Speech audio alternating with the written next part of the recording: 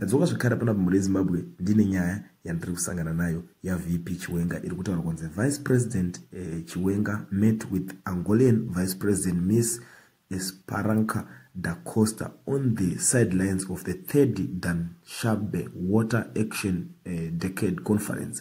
The two discussed the need for the sadak region to come up with a localized solution in ensuring the provision of clean water to citizens. They also discussed the kavango zambezi transformer uh, conversation area hashtag engagements. Ndo pavaveko zvinezvi vari kumboonesana nyaya dzemvura kwavakaenda kudanshabe city iri kutajikistan ndo pavaveko zvinezvi. Vasanganawo e, navice president weangola.